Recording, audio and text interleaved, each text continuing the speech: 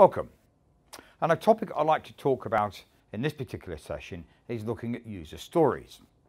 But in this case, I want to look at user stories and the business case. All too often we tend to think about user stories related to the product, the feature, the requirements that we're looking at that make, as a collective, all the requirements make up the final objective of the project, the output.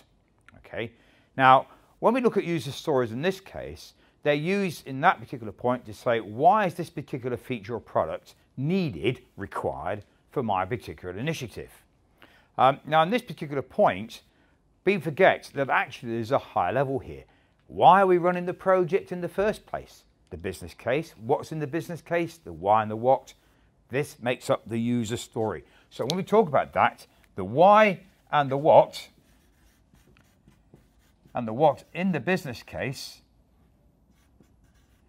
right, make up the user story for the business case. Why am I here? Why am I running the project? What do I expect to get out of it? Right? So this is not just project level, program level, portfolio level, right up to portfolio level. Why are we running this particular initiative within this particular part of the business or in the business overall at all? Right? So this is something very important to remember. The user story is not just down at the development level. It's very useful down there because it does the first thing, it turns the product into why it is required.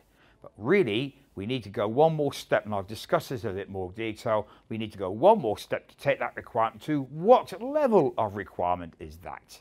In other words, we have to prioritize that requirement against other ones and against, and more particularly, against the overall objective and the outcome of the project. Outcome of the project.